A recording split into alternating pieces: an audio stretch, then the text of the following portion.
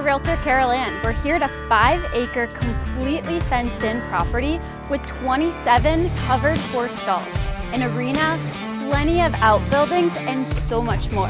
This is one you are not gonna wanna miss. We have four bedrooms, three baths, a little bit under 2,800 square feet.